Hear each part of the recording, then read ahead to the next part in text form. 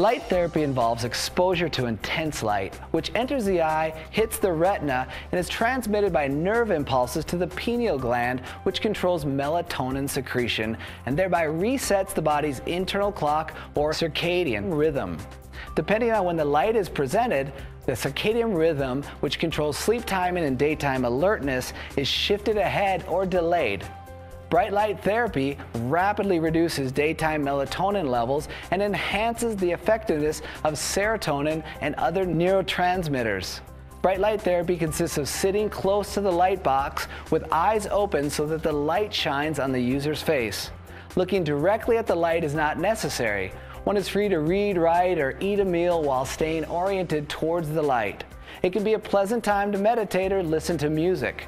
For more information on using light therapy, visit our website.